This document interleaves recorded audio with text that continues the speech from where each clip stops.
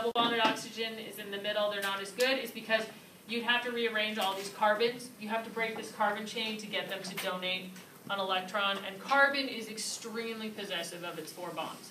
It's one of the unique things that makes it so central to life on this planet.